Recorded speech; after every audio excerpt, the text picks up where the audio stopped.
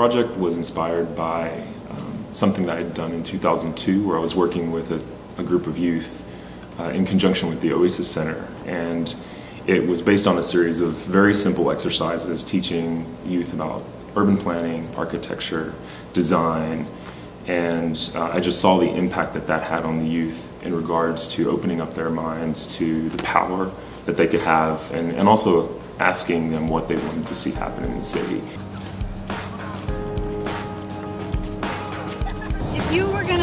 Make up a park, what kind of thing would you really love to go and do?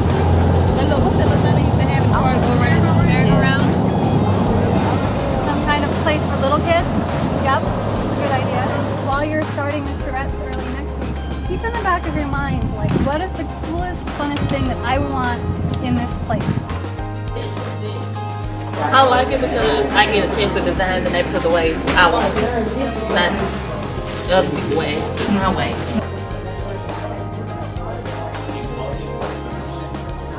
So what if you have this as a street?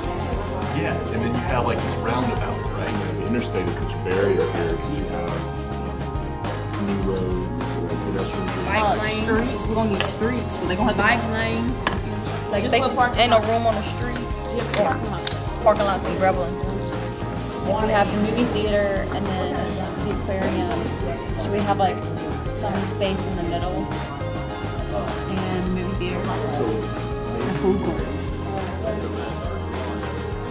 my group came up with like some awesome stuff to put, and like their pre their presentation was very good. I like what they put because they had like Black History, uh, Black History and art programs. Like it was very awesome.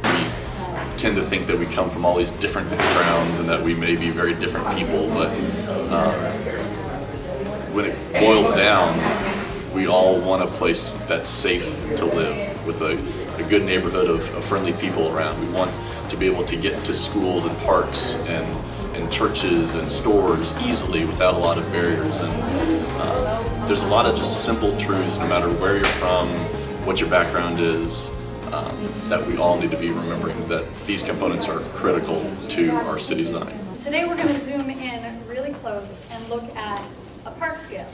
So this is a picture of the site, right? Here's the Oasis Center right there. Here's the park along Quinting, and here's Charlotte.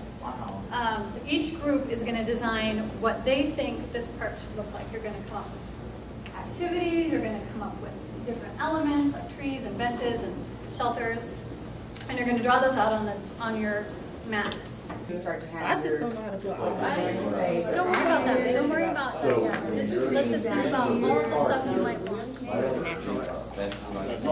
We need to have like adventures. My idea was to uh, plant flowers in the shape of uh, the name of the park.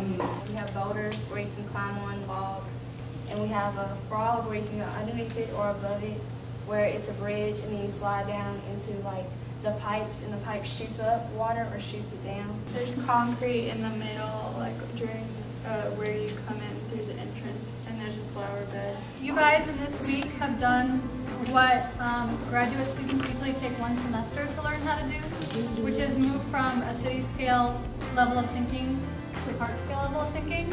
So I think we should give you guys a big round of applause. I love everybody. And we're gonna have to make a reunion. We love y'all. I ain't gonna see ya. I had so much fun. Thank you guys for encouraging us, instilling things in us, and we really thank you. I look forward to seeing this next year. Time out. Don't nobody take a picture. Okay. Oh, snap, let me know.